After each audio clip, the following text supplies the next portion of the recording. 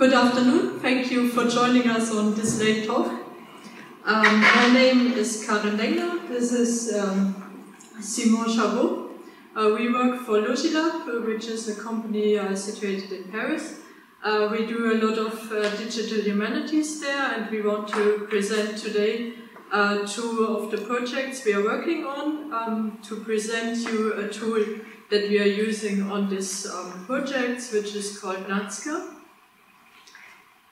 So we will start uh, with motivating um, the tool and the usage. So um, Simon will start with uh, presenting the project he's doing with the Natural History Museum.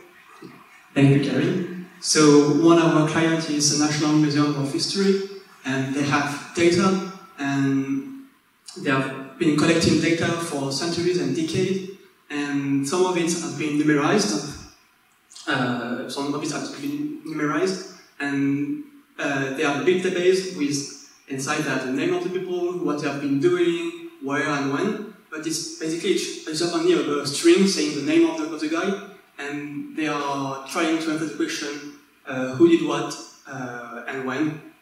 So to do that, we have to find that these strings refer to this person and, and, and so on. So the goal is to find uh, links in the data. So they are the big tables, and want to find links uh, in the data. So I will try to show you how, how, how we do that. So let's meet uh, Frédéric Cuvier. He was a French geologist and paleontologist, and he has made some, some collections during this, uh, his life. And so actually this is what they have. So they have a web page that shows the data they have uh, in the database. So we have here full name, Cuvier Frédéric, and we also have a date. So it's that case it's quite easy to find the link that the name Frédéric Cuvier has been doing and has been doing this collection. But sometimes we have only uh, a last name, so Cuvier. So maybe it's him, maybe it's not him. Sometimes we have a date, sometimes we don't have a date, so maybe it's another another guy, and we have to find links and make a probability of this link. So maybe this link is not the exact one, but we have to, to guess if it's uh, the good one or not. we have to deal with homonyms. For instance, uh, had a brother called George, and both were loved at almost the same time. And so when we have on his last name Cuvier and the date, we don't know which Cuvier uh, we are talking about. And sometimes it's even harder because with Cuvier, Cuvier Frédéric, his full name is Cuvier George Frédéric. So sometimes they have been written, they have written Cuvier George, but they, they are referring to uh, Cuvier. So we have to make links and to make a guess and to estimate that the probability that the action has been doing by Frédéric or Cuvier, or if you don't know, we have two links to two, two people. So our goal is to make connections between actors, activities, and to enrich the data uh, the museum uh, have, has. Archive is a project by um, the Interministerial Services of France. Um, in France, there are archives at uh, several levels. There are municipal archives, there are department archives, there are archives on a more national level like the Archives Nationales. Um, and these archives are accessible to the public. And so if you, for uh, say, uh, you are interested in your family's history, uh, so you're trying to find documents of um, notaires uh, that are related to your family's history. you you have to start by looking in which archive does um, such a document, uh, in which archives you can find the documents. And France Archive collects information about the documents in the, the uh, departments in France and uh, makes them accessible to the public by enriching um, them with additional information. So as you can see, see here, our goal is to help you explore and discover the contents, understand how, uh, the, how they are organized, and also to uh, manage their contents.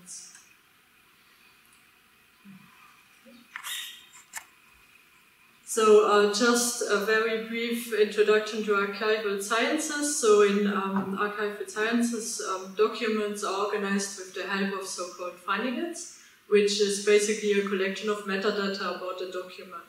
It's not the con document contents itself, but it's information such as who published the document, um, but also information like who is the document referring to, what place it is referring to, and um, finding aid looks like this. So you can see there's a brief summary, there's um, a, a, description of the publisher, and there's also, um, as you can see, personne et nom de lieu. Ce sont des, des people who are referred to in the document, and um, places the, the document talks about. And if you now search for a document and you see such a list of places, it's um, very probable that you don't know where these places are or that they even exist. So what we want to do is to help you better uh, explore these documents by um, giving you information about the, that metadata. So for the places, we want you to be able to click on them and see in an external database, in, which, in that case GeoNames, some additional information related to the, the place. And to do so, we have to align um, our data set with external data sets, and um, we are now going to explain you what tool we are using for that. And this is um, then Simon who takes over. Thank you. So we use a tool called Nazca that we developed at Logilab, and this tool is a toolbox we use to align two datasets. So what it means to align two datasets. So it means that you have similar entities in two, in the one set called R and another one called T, and you want to find link of pairs which are similar according to your definition. So we take two sets. One is reference, so it's your dataset, dataset you know of, like a list of names, a list of locations you have, and you want to find to enrich. And there is a target dataset. T is usually very big because it contains, for instance, all the human from Wikidata or all the location from GeoNames so, so it's very, very big usually. And what we do is that we will uh, take all the pairs from the two datasets, so we have matrices, a matrix, and we'll compute this distance between each pair. So we obtain a matrix um, like that, and we will find, we'll try to find the minimum on in the column or in the line, and to say, okay, if the distance is between is below this threshold, then the pairs um, are similar or are, identical. If you do that very naively like that, so if you look for the minimum, if you build the Burr matrix, it will be really long. So we will show you uh, a naive approach, is one, and how we use how what we do to improve this uh, naive approach. As I told you, in reality, the numbers are really, very huge, so we have more than uh, 60, uh, 85 uh, billion entries if you compute whole matrix. So it's very, very, very huge, very big, very huge, and it's not possible to compute all their distance. So I should use a naive approach without the tool to, to improve the, the speed. So first of all, we have to create, oh, so we start here. So we, we you get the two data sets, you get the ref sets, so which is your, your sets, target set, so you have the set you want to align to, and it's basically a list of records, so you have here a number which identify your, your record, your item, and in that case we have the name of the, of, of the guy, and we see that we have around 10,000 elements, so it's not very small, uh, very small set. Then we, the record is made of names, so we compare string in that case. So we import from Nazca something called difflib processing, We should compare the strings, and it will return a distance between two strings, uh, zero for strings which are similar or identical, and one for two strings which are very uh, different. And in that case, we say that the difflib processing will apply on the first index of the record for the reference and the first uh, uh, uh index of the target. And then we say, I want to have all the pairs, so we create an aligner, and say I want to have all the pairs which, given those processing, have a distance uh, below uh, 0.2. So all the pairs which are below 0.2 will be returned by the aligner. And if you do that, we ask for the line pairs between the ref set and the data set, and we can iterate over uh, all the pairs. So here you have the, the pairs created, the index in the ref set and in the target set, and here you have the distance. In that case, it was a very good match, so the distance was, uh, was null, so it's uh, the perfect, perfect match. If you do that, like that, on this small uh, target set and reference set, it took about 40 seconds to compute the matrix and to find the minimum of the, on the column and the lines. So it's quite long for small data set, and if you want to do that for on, on the bigger set, we have to improve uh, to improve this. We can improve this by something called blocking. So it's a way to quickly estimate pairs which are similar. So you will, instead of having the big matrix, you will try to find subsets in this matrix, in this, in this matrix which are similar and then we compute all the distance on this subset uh, only. So basically in the code, it means that you create a blocking to create those, uh, those uh, small uh, blocks. And we create blocking. We have some parameters I will show you later. And then in that case, we went from uh, 30 seconds to only one second with this blocking to obtain the exact same uh. So how does it work? as I explained, so you start from the ref set and target set, then you have uh, the items, you will clean them a little bit to have more, to remove uh, uh, dirty words, stop words, or to set all, them, all of the records to the lower case, for instance. Then you use a blocking step to create blocks of maybe similar pairs, and then in, that, in those blocks you compute the distance, and if the distance is below a given threshold, then you say they are uh, aligned. In Nazca, we have several blockings. So one uh, is a code called key blocking. So you apply a function on a record, and if the result is the same, then it will be in the same block. Uh, so it's useful when you have, let's say, a country or they are shared the same attribute. We have blocking for pronunciation. If you pronounce the words which are written different, but the pronunciation is the same, then maybe you want to put them in the same, block. We have uh, blocking for similar substrings. So you say if I, if I see this pattern, I want to have a block uh, of the same letters. You have, we have k-mean blockings for points. We have tree if you have coordinates like a map and you want to find uh, cities which are in a given area. So you build blocks of, of, of, uh, similar um, coordinates. And for strings, we have the min-hashing blocking, which create block of strings which have the similar words, similar tokens. So now we will show you two applications uh, from on the museum and on France Archive. So I'll give you the. Welcome. Thank you. So, as a reminder, this is what the finding aid looks like, and now we have here a list of places. Um, one of them is Bordeaux. Um, so we now try to find um, the correspondent uh, entries in GeoLinks. Um, also, uh, this is more, uh, so we want to enrich this data and we um, align it uh, amongst others to GeoNames. We also align places to BANO, which is the register of all addresses in France. And I will only talk about GeoNames um, because the time is limited and it's a rather long subject. So as a reminder, we have over 500,000 labels uh, in France Archive which we need to align.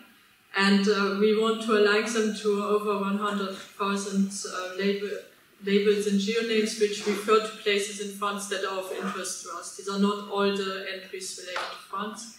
Uh, so many of these labels uh, refer to the same location. So it's not really interesting to um, align them all. So we only need to align one of them, and then for the rest of them, we also know the alignment. So the, with that strategy, we are already down to uh, about uh, 300,000 labels. So um, this is what I was talking about. We have different labels because our uh, data is human input, so there's a lot of vari variation in it. So from all from three labels referring to Bordeaux, we choose one as uh, the representative of all labels referring to Bordeaux, uh, which is done by basic normalization. And um, then we align that one to geonames. So um, also as you have seen uh, in our labels, there's not only the name of the place, but also additional information, and in this case the department and the country. And uh, we can use this additional information to construct different reference sets. So uh, we have uh, four main sets. Uh, we have one set which is aligned to France, one which is only aligned to a specific department, um, another one is aligned to foreign countries, and a third one is aligned um, to topographic features. Uh, these sets are smaller, but they are still quite large, so we need to um, implement a block, which is very important for us, um, given that we have this additional inf information in our label, so we want to put it to use. Um, so I will talk about the alignment of the data set um, to France, because we have several pipelines, and um, uh, one of them will suffice to give you an idea of how Nazca can be used. Uh, so uh, the alignment pipeline uh, consists of three sequential alignment steps. So each of them has two blocking steps and one alignment step. So um, the alignment in the end is a simple distance function and it's really the blocking that's interesting. Uh, so the first step is um, we use the key blocking at the beginning um, to um, block the data having the same department and city, and then we use similar uh, similar strings to, uh, to, to block it further, and at the end we are like this. And at this point we have um, two outputs. We have the set of aligned pairs, and we also have the entries that have not been aligned yet. So these entries will be the input of the next step, where we now say, okay, we couldn't find something for these entries when we blocked them using department and city, so now we will only try to block them using the department, and then we will again use similar strings. And at this point, we again receive um, aligned and non-aligned entries. And the last one, uh, we then say, okay, we had no luck at all with departments and cities, so now we use similar substrings. And then similar strings, and then we are like this. And at the end, our results are, so it's a development that's uh, has been made in stages. The la latest addition was uh, the uh, alignment of topographic features, so we can now align rivers and mountains. Um, as of today, we have over 60,000 authorities that have been aligned. Some of them have been aligned by hand. And um, how do we use this data? So when you um, look at the view of such an authority is what um, these representatives are called, you have now a link where you can go to geonames and there you get additional information the, of the place. And uh, we also have a nice interactive map, which is a world map. This is only uh, zoom in on Bordeaux, uh, where you can see for um, all the places in, in foreign countries, it's only country um, that you can see where a document refers to. In France, it's on the level of cities or even streets. Uh, so this is very nice to explore the regions of France and the documents there present, and now Simon will talk a bit more about the National History Museum. Thank you. So I will show you what we have done for the National Museum of History. So we work on a POC, it was a proof of concept. So they gave, they gave us a list of around uh, 50, uh, 500 sorry, naturalists. Uh, this was a list of names and birthdays and identifiers. identifiers. And our goal was to gather information from different sources thanks to alignment and to find, to find connections in their own dataset to say that this guy has been collecting this uh, plant or this uh, thing at this place and this place is connected to uh, geonames and, so on. So we have been able to find more than 1 million alignment uh, in the data. So we have alignment for collection, determinations, uh, detection creation, publication, uh, photographies, and, and so on. So I will show you some, some of the features we, we have.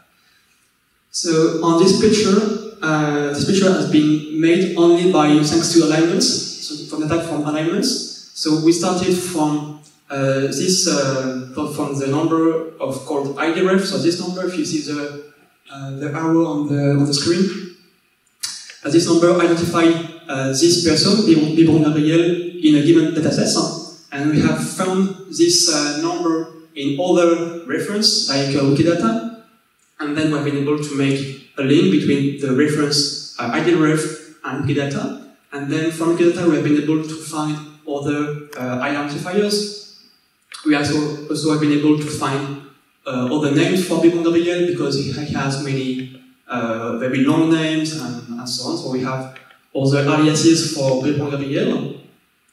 We also have been able to find uh, the dates of uh, birthdays and death dates from, from the alignment and to confirm them between different uh, sources. Uh, thanks to this alignment, we have been able to find what he has done. So we know that this guy has created detection, has collected uh, specimens, has determined taxon, and so on. And we also have been able to find pictures of him in Wikidata and from the National Museum uh, library uh, itself. On this picture, so it's a picture that describes what I've collected someone called Lamarck uh, Jean-Baptiste. So we align Lamarck Jean-Baptiste toward uh, IDREF, and IDREF gives give us some aliases of uh, Lamarck Jean-Baptiste, and one of them is uh, Lamarck JB. We found in, in a data of the museum uh, Lamarck JB, so we make, the, make a link, and the match was a perfect match for, for this, uh, this string.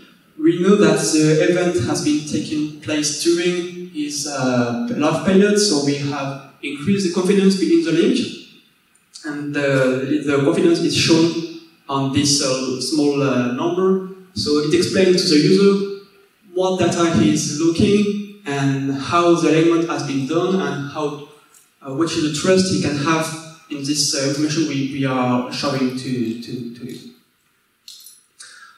Another thing I like is this one. Uh, Lamarck was called sometimes only Lam, because Lamarck was wrong to write, so they only wrote uh, Lam a long time ago. And Lam was the national, uh, the naturalist abbreviation of Lamarck that we have found in Wikidata. So first we align to Wikidata, we have Wikidata the old aliases of, of uh, Lamarck, and then when we found back uh, in the National Museum of data we found Lam, we know that it's referring to, to Lamarck Jean-Baptiste.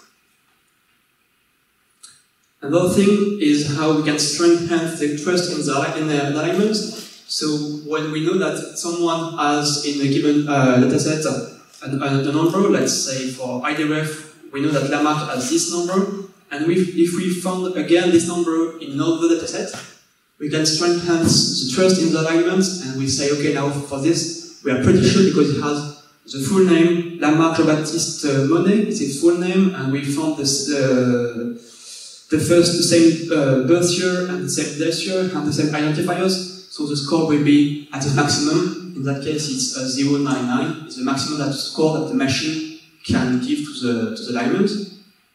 One is really it's uh, only for human verified uh, uh, alignment. So we have gathered data from many places and we have made a link, a guess, and all the links are given with a given probability. And then the data is reusable, so it's open data, so you can make queries. So for instance, it's a query in, uh, in SPARQL, so you can ask uh, all the names and the Wikidata and VIAF identifiers of people who have collected uh, during the 18th century. If you write that, you will have an answer, and this answer is, for instance, uh, this in uh, HTML, you have, have this in uh, CSV or the format you, format you want. So Nazca is a tool that we use to uh, improve, to, to, uh, to enhance data of, of our clients. To The tool is open source, and if you want to try it, you can find it on this uh, on this uh, address on our on our forge. Um, thank you for your attention, and if you have any questions, we are pleased to to answer them.